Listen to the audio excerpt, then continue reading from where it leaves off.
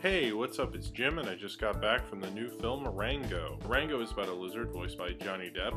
He basically lives in a little tank. He like acts and he puts on shows for himself. Him and his tank are flown out of the car where he is traveling with the family he lives with, and he's thrown into the desert.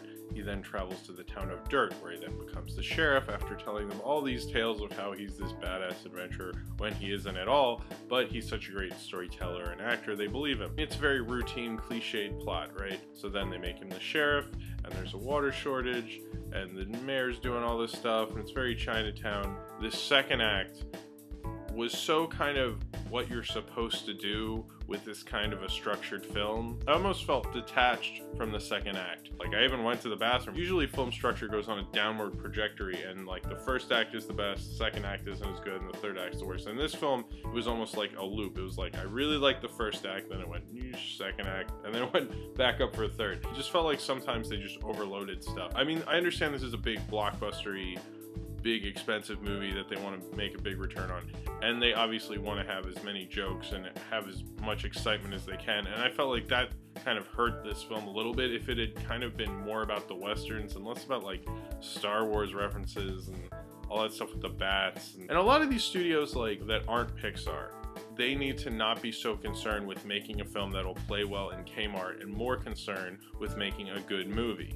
And that's been always the problem with like DreamWorks, with Blue Sky, with all of them. It, it sucks when you're watching a film and it feels like it has to do something because that's what it's supposed to do. And I felt like this second act did exactly that. I think this movie is a good film. The character design is really, really amazing. And this is still very cartoony, but there's a sense of bizarre already just from the character designs, there's a sense of the absurd. This movie is very strange and almost in a way that 90s cartoons like Eek the Cat and Rocko's Modern Life were. So I kind of like that. But also, it reminds me a lot of old Warner Brothers Bugs Bunny cartoons. I almost feel like that Johnny Depp is playing Bugs Bunny. They used his movements because they filmed it for 20 days and they all acted as the characters, and I, I think that's how they recorded the voices that way. I'm not exactly sure. So it's not motion capture. It's more like just they filmed it for reference and stuff. I could tell like some of the movements were Johnny Depp's, and he, he can really pull that off. And for an actor who, after Alice in Wonderland and all his other kooky performances, kind of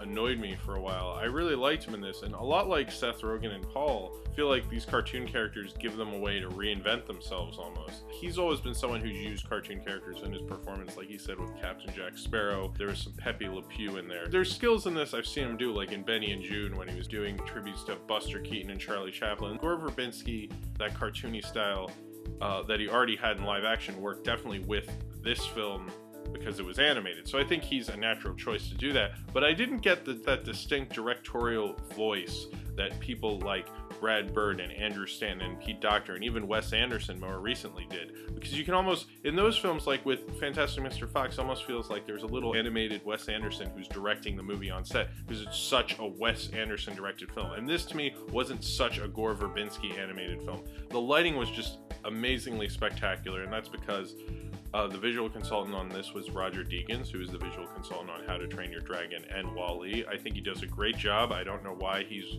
always working for different studios every time. I hope he does more animated films because every time the camera work in it and the lighting is just absolutely fantastic. And the lighting and the camera work and animation is getting more and more interesting and I feel like he is definitely helping that go even further and it's great. And I would actually like to see other cinematographers be visual consultants on animated films and not just Deakins, although Deakins is like the best. So some people say this is too grown up for kids. I don't think that this movie has any problems for kids. It's not like that weird. It's, they might not get some of the references, but they didn't get the references in The Incredibles. I'm sure they didn't get every reference that was in Shrek.